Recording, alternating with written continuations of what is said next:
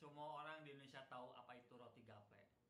Tapi gimana caranya bisa roti gaplek ini dikenal di seluruh dunia?